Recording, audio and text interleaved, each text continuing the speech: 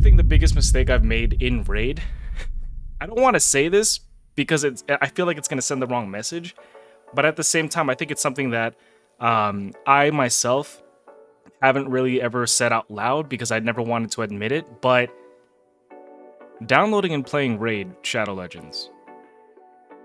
That's probably one of the biggest mistakes I've made. And why do I say that? It's it's not just because of the thousands that I've spent that ultimately amount to nothing, right? When I really stop and think about it, when I'm laying on my deathbed, I'm not gonna give a flying fuck if I have a Siphi. I'm not gonna give a shit about placing plat. I'm not gonna give a crap about doing billions in Hydra. None of that's gonna matter. To me, I've spent thousands in Raid. When I go back and think about it, I'm like, dude, that's thousands I could have spent on my wife, or thousands I could have spent on an experience, on a trip. With the amount of money I've spent on Raid, I could have visited Europe twice, maybe more.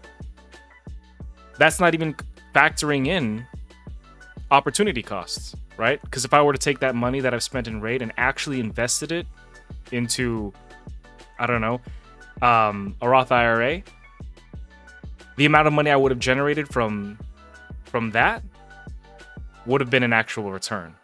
Instead, I have pixels. Now, I'm not completely complaining about it. I don't think it's entirely a bad thing because it led me here to YouTube. I don't think I would have comfortably started YouTube or doing online content creation were it not for Raid. Most of you don't know, I started out on Twitch. For nine months, I was doing Twitch. Nobody really watched me. I mean, not, I'm not going to say nobody.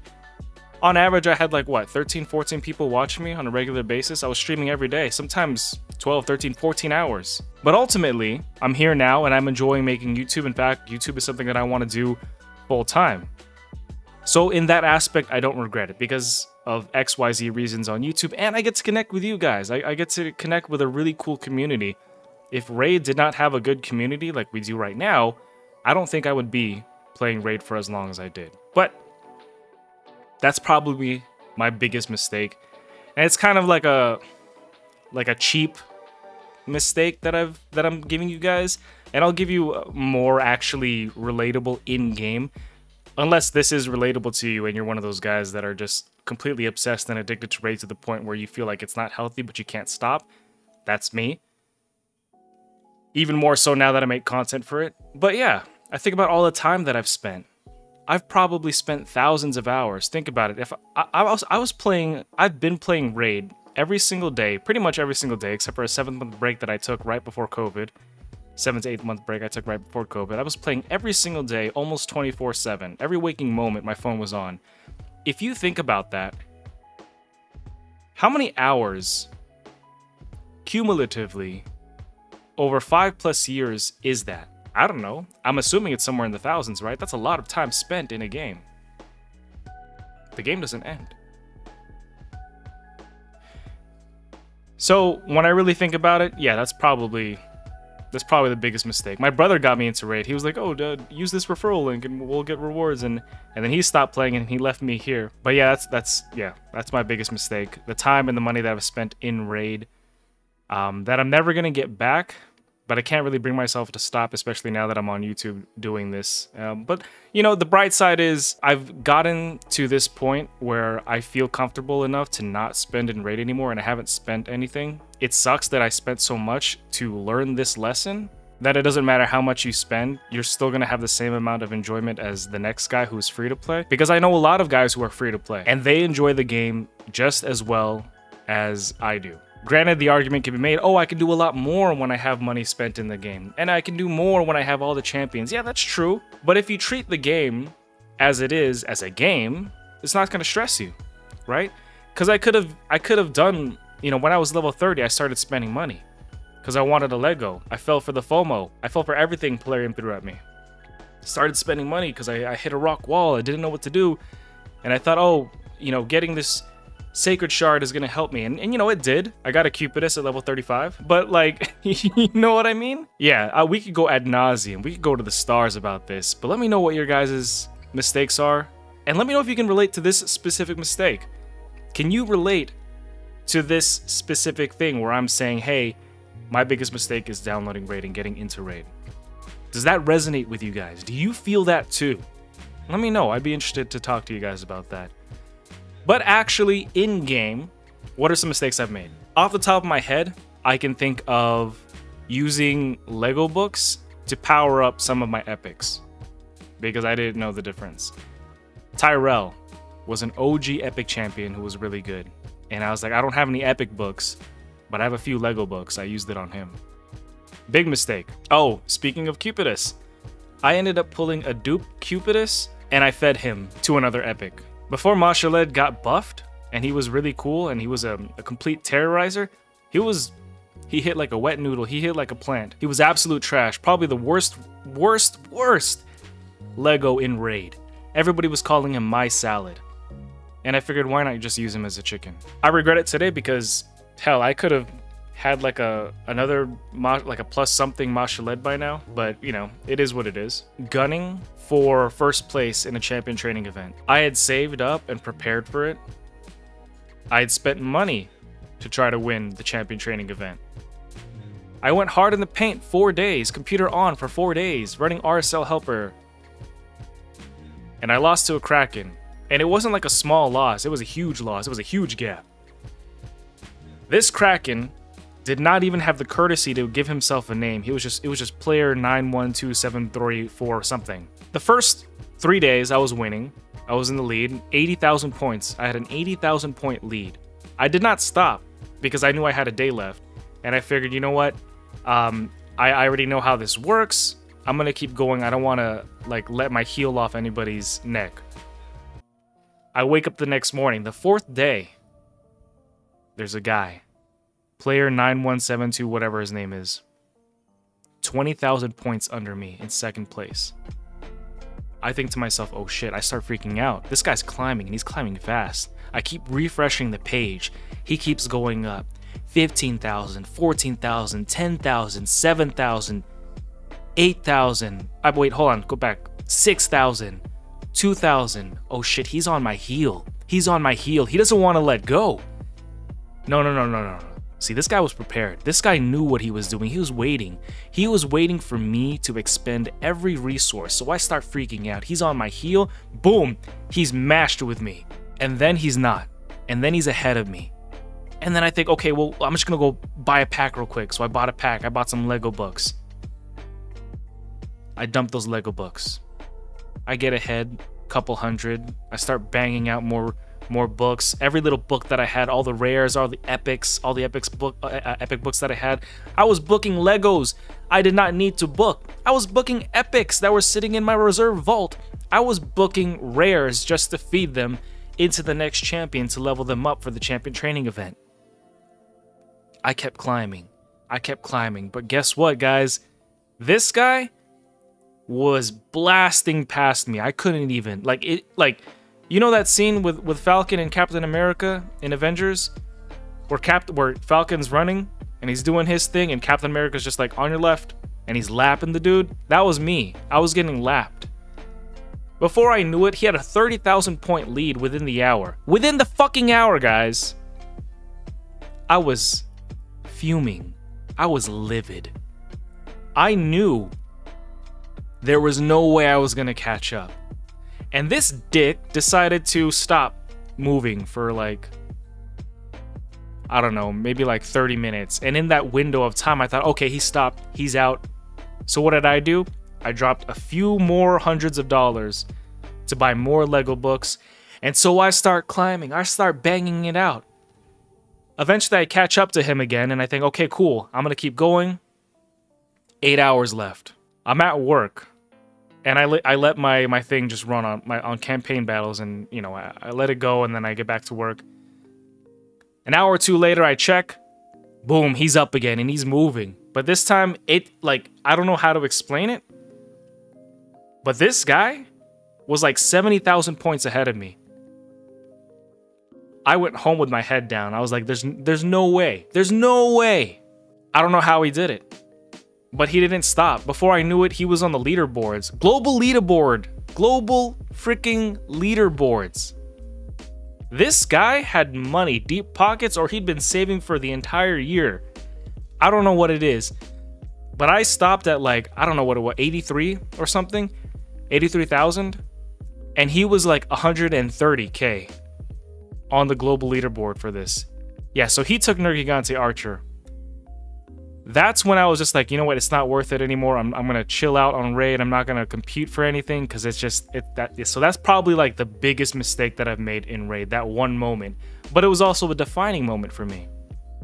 When I I really conceptualized and really let this sink in that you are not going to be able to compete. And there's no point in trying because people are just gonna be, I don't know, like they're gonna have more money. There's always a bigger fish. They'll have more money than you. They'll have more time than you. Like you just don't know who's on the other end of that for the most part. And some people are willing to go pocket, pocket, pocket deep. Some people are, are willing to go into debt to win Nergigante Archer. And she's a great champion. She's an awesome champion. She would have boosted my Hydra score by a few million, maybe a billion. But was it worth it? No. In that champion training event alone, probably could have taken my wife to France. But I digress. That was my biggest mistake. Have you guys ever been in, in that situation before? I think the biggest champion training event prior to that was during COVID. The Krisk event. Everybody going for Krisk. That was that was a Kraken war right there. But let's see what some of these people are talking about. I spent 15 minutes talking about myself. um, I hope you enjoyed, you know, seeing my or hearing about my failure. And uh, it's not like a pity pity thing. You know what I mean? Like we learn from each other's mistakes. All right, not realizing Lego books were only for Legos. Mm. Mm-hmm. Mm-hmm. This one physically hurts to read. He got so excited about Apothecary, he spent six LEGO books on a rare. Taking a LEGO and rare skin to a literal level. I was I was just feeding epics willy-nilly, even Vogoth. Vogoth? You fed an epic to Apothecary. That's crazy. I feel like throwing up. I fed the Fat Man because I didn't like how his damage deflection read. To be honest, same. Then my friend my friend built him and I realized how good he was. I don't know how big a mistake that would have been. I'm a newish player, but I won a mythical book somewhere, or they handed them out for free. I don't remember. And I was thinking of using it on a legendary because how, when the hell am I ever going to get a mythical? Still haven't found a legendary other than the free ones. Decided to keep it, but it was tempting. Keep them, don't waste them. You're, you're going to get Lego books like crazy from Hydra CB and Doom Tower. That's true. One day you'll get one, maybe. Those books will be game changers to whatever mythic you end up getting. Best thing to do is save them. True. I thought rarity would be like a strength, so a Lego book, that's that's fair. I thought a Lego book would be like using four or five rares. I was wrong. I made this mistake too. Yeah, I get that. I restarted my account after I used up all my legendary books. I, um, um, oh my god, on your starter champ? That sucks, yeah. I accidentally fed one of the rares for the nut fusion. Only time I've ever done that big sad. Damn, he missed Newt for that. I think he just took the lead, yeah. Not starting a game a week earlier and missing the Newt fusion. Alternatively, not saving the free early Sacred Shards and missing the Newt fusion. I used to be so salty I joined the Ninja event. I joined after the Ninja event was over. I'm over it, but damn, I do feel sorry for new players. So many top tier free login legendaries. UDK, Wukong, staples for PvP, Artak, absolute beast and everything. Yeah. Missing all that. I didn't understand how split souls work during the Adeline soul event. I earned 4 and 5 star split souls and sold the 3 star split soul thinking I didn't need the- Oh my gosh, that is true. You know what? On my alt account, I've done this too. I, I, I still can't upgrade my Adeline all the way to 5. That See, even I make these mistakes, guys. I've been playing for over 5 years. Granted, split souls were just somewhat recently introduced. I made this mistake too. Because I didn't stop and bother to pay attention. But yeah. Fused Weregrin from Mikage and somehow fed him. That's That sucks. You have to wait to pull him now for a void. Dear God. Started playing. there you go. The only correct answer. All mistakes were due into this horrible, horrible first one. That's true. I would have never made any of these mistakes if I hadn't started playing. Spending gems on the 11 ancient packs. taking crap champs to 60. Yeah, same boat. We've all done that. But I don't know. I, I'm actually not against this. I know a lot of people have said, and people will continue to say, don't spend gems on the 11th pack ancient ancient thingy. But I'm actually not against it. Like I'm I'm cool with it. Like I do it. Probably not the best thing, right? Most people say spend your energy or spend your gems on energy. But I have nothing against this, especially if you're in a pinch for like a fusion or something. Like this comes in handy. Yeah, look at this. What should gems be spent on? Energy, energy refills. I thought the best way to farm champs forever was uh, to farm champs forever. Apparently, I was really wrong. I hadn't met the mentality. Okay, anyway. Uh, taking a break, missing out, not getting Armanz, forgetting to fuse Armanz, more to Macabre, Mortu-Macaab early on. The other thing about this, guys, is especially if you're early, if you're an early player, you just started and you don't have a huge roster, I don't see anything wrong with this. That's just me. I mean, let's be real, right? Because when you first start playing Raid, and you know you're not with an account that has all the champions from the get-go. I'm not going to say how but you know people can tactically acquire accounts that have specific champions at the um, you know at the very start. That you know i'm not judging. I'm saying you know but i'm saying anybody who starts out with basically nothing you're going to want to build your roster. So i think pulling shards right away and using gems for the ancient things is not a bad way to get a to get around in the beginning. But then the counter argument for that is to buy your time, really save for a fusion, and then get something guaranteed. You know, there's there's different ways to go about it. Not putting one man defense in gold in gold arena. I was in oh, not putting in one man defense in arena. I was in gold V, gold five, only being able to fight a team or two every refresh. Had a really strong team on defense. Putting in one man gave me such easier teams I can farm. This is true. I think a lot of people don't realize how this works. You put in a one man defense, you're going to drop in rank. And um, let me show you. Uh, this is my wife's account. But basically, you can get a bunch of free fights if you just have a really weak team. So, like, if I were just, if I just put Sun Wukong by himself, if Sun Wukong is here by himself, pretty much everybody I would fight is going to be like this, a one man defense. Because, you know, the, the Raid calculates your your ranking and gives you people based on that. And um, yeah, so there's that. Using all my early Lego books, didn't do the Encore fusion, didn't spend to get Narcisse. I don't think that's a miss. You don't want to spend for that. Skipped Narcisse, crunching all the Aniris and Royal Guards and Seers and Man-Eaters? Oh my god. Fed Geomancer. Unbinded a dupe for your Carl? Not committing to Live Arena earlier? I can see that. Downloaded the app. Uh, yeah, that way. Yeah. Float on the track like a Segway. Go. Yeah, that way.